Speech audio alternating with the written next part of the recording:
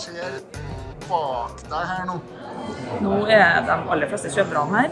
Eh, og nå er det like før de skal ta over leilighetene sine.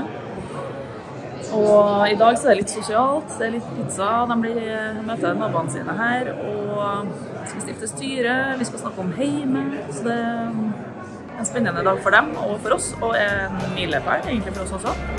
Ja, det.